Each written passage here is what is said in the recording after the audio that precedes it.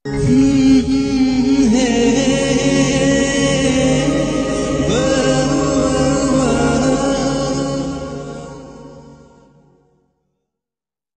আলাইকুম ফ্রেন্ডস কেমন আছেন সবাই? আশা করছি ভালো আছেন। আজ আমি আপনাদের জন্য বুঝবে তুমি এই গল্পের পঞ্চম পর্বটি নিয়ে হাজির হয়ে গেলাম। আশা করছি আপনাদের ভালো লাগবে। আর তাই গল্পের শুরু থেকে শেষ পর্যন্ত অবশ্যই দেখবেন। পুরো গল্পটা দেখার পর কমেন্ট করে জানাবেন কেমন লাগল। যদি ভালো লেগে থাকে, একটি লাইক দিতে ভুলবেন না। আর আপনি যদি আমাদের চ্যানেলে নতুন হয়ে থাকেন, তাহলে চ্যানেলটি সাবস্ক্রাইব করার রিকোয়েস্ট রইল। আশা করছি সাবস্ক্রাইব করে সবসময় ফারুকস ডায়েরির সাথেই থাকবেন। তো চলুন, কথা না বাড়িয়ে সরাসরি গল্পে চলে যাই। আকাশ ফ্রেশ হয়ে খাবার টেবিলে এসে দেখে নিবি দাঁড়িয়ে আছে খাবার সাজিয়ে। হঠাৎ সে চিৎকার করে ওঠে, আম্মু আম্মু, কোথায় তুমি? আকাশের চিৎকার শুনে নিবি ভয় পেয়ে যায়। নিবিড় শাশুড়ি এসে বলল, হে আকাশ, সমস্যা কি তোর? এত চিৎকার চেঁচামেচি করছিস কেন?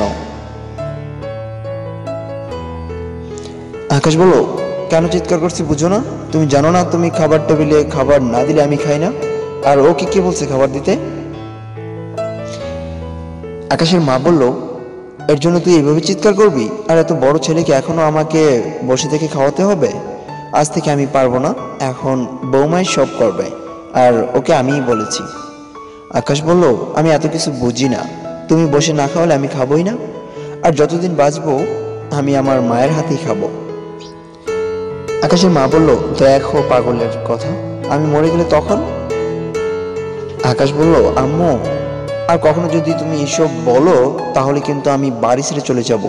আমি চাই না আমার আম্মুর কিছু হোক। আকাশের মা বলল আচ্ছা বাবা আচ্ছা আর কখনো বলব না। নিবি দাঁড়িয়ে থেকে মা ছেলের ভালোবাসা দেখছে আর ভাবছে সত্যি আকাশ ওর মাকে অনেক ভালোবাসে। সারা জীবন এমনই ভালোবাসা থাকুক মা ছেলের ভিতরে। আকাশ বলল, হুম, কখনো বলবে না। আকাশের মা বলল, তা কাল তো অনুষ্ঠান রে বাবা। আকাশ বলল, কি প্রয়োজন এসবের? এসব ঝামেলা আর উটকু ঝামেলা ছাড়া আর কিছু না। আকাশের মা বলল, কি সব বলিস? বিয়ে কি বারবার করে মানুষ? একবারই তো করে। আর তুই আমাদের একমাত্র ছেলে, আমাদের ইচ্ছা করো না বুঝি এসব করতে? আকাশ বলল, যা ইচ্ছে করো। নিবিড় দিকে আর চোখে তাকিয়ে শাশুড়ি বলল, তা বৌমা, তুমি খেতে বসো তো? নিবি বলল মানে আম্মু, আমি পরে খাব। নিবির শাশুড়ি বলল, পরে কেন? এখনই বসো। আকাশ বলল, এত জোরাজোরি কি আছে? যখন ইচ্ছে খাবে। আকাশের মা বলল, তুই চুপ করতো বসো তো মা। নিবি বলল, হুম। কিছুটা ভয়ে বসল। নিবির শাশুড়ি বলল কিরে বাবা, উঠলি কেন? আকাশ বলল, না মানে আমার খাওয়া শেষ। আকাশের মা বলল, শেষ মানে? কিছুই তো খেলি না। আকাশ বলল, আর বলো না, আজ বন্ধুদের সাথে বিকেলে দেখা হয়েছে, ওদের সাথে খেয়েছি তাই আর কি। নিবি ঠিকই বুঝলো, আকাশ তার জন্যই উঠে গেল। নিবির শাশুড়ি বলল, তা বলে কিছু খাবি না? আচ্ছা তাহলে তুই রেস্ট নে। নিবি মা, তুই খা, আমি আছি। আকাশ বলল, তুমি আছো মানে? এত রাতে তুমি বসে থাকবে কেন? যাও ঘুমাতে। ওর খাবার ও এমনিতেই খেয়ে নেবে। নিবি বলল হ্যাঁ আম্মু। নিবির শাশুড়ি বলল, চুপ করো বৌমা। আর আকাশ, তুই আর নিপা যেমন আমার সন্তান, তেমনি নিবিও আমাদের সন্তান। তাই আমার মেয়ের খাবার শেষ হলেই আমি যাব। শাশুড়ি মার মুখে এমন কথা শুনে নিবিড় চোখে আপনা আপনি পানি চলে আসে, আর সেভাবেই সত্যি শাশুড়ি সবসময় শাশুড়ি না, বরং মাও। মায়ের কথা শুনে আকাশ রাগে ঘরে চলে এলো। আকাশ রুমে এসে নিবির জন্য অপেক্ষা করছে। বেশ কিছুক্ষণ পর নিবি রুমে আসলো। আকাশ বলল, এত দেরি হলো কেন? নিবি বলল, না মানে রান্নার আকাশ বলল, হয়েছে, আর মিথ্যে বলতে হবে না। যাই হোক, কালকে যে অনুষ্ঠান, তা তো জানিস। নিবি বলল, হুম, তো? আকাশ বলল, তো আমি চাই অনুষ্ঠান যত পারবি নীরব থাকবি, আর আমাদের মধ্যে এসব কথা যদি কেউ জানতে পারে তাহলে কি হবে, তা তোর কল্পনার বাইরে। নিভি বলল, আমি আপনি নিশ্চিন্তে থাকুন, কেউ জানবে না। আকাশ বলল ভেরি গুড এই বলে আকাশ দরজার দিকে পা বাড়ালো, নিবি বলে ওঠে, এত রাতে কোথায় যাচ্ছেন? ঘুমাবেন না? নিবির কথা শুনে আকাশ নিবির দিকে রাগে তাকিয়ে আছে। আকাশ এর চোখ দিয়ে তাকিয়ে নিবি ভয় পেয়ে যায়। কিছু বলতে যাবে তার আগেই আকাশ নিবির মুখ চেপে ধরে। আকাশ বলল কতবার বলব, আমাকে কোনো প্রশ্ন করবি না? কোন সাহসে প্রশ্ন করিস?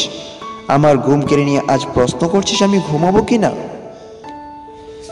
কাঁদতে কাঁদতে নিভি বলল, সরি আকাশ। আকাশ বলল সরি, এই শব্দটা কি কতবার প্রয়োগ করে বাঁচতে চাস তুই? এ বলে নিবিকে এক চাপটা দিয়ে ফেলে দেয়, আকাশ বাইরে চলে গেল। মনে মনে বলল, সত্যি, আজ আমার কিছু বলার নেই আপনাকে।